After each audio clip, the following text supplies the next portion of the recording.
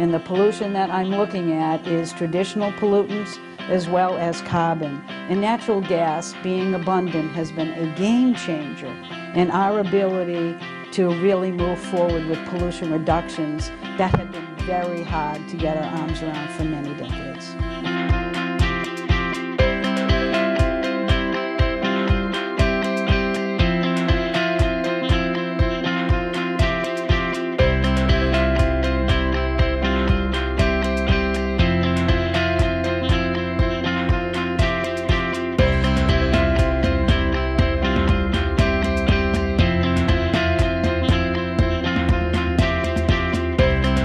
All want clean air.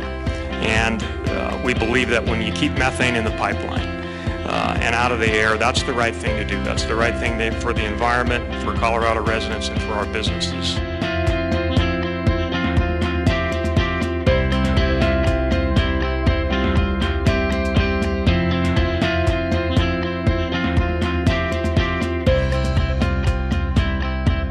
More than half, I believe now, of the frac jobs are so-called green completions, where the the, uh, the methane is captured uh, and is is is for economic benefit.